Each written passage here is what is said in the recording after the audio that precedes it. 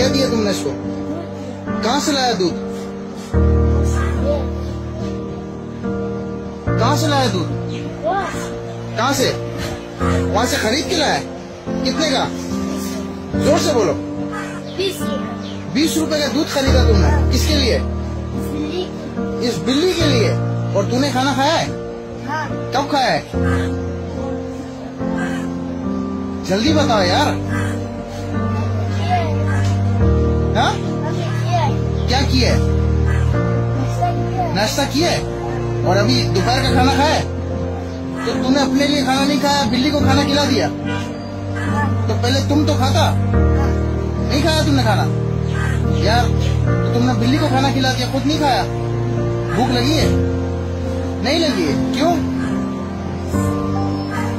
अच्छा सुनो। तुमने तुमको खाना खाना है? खाना है?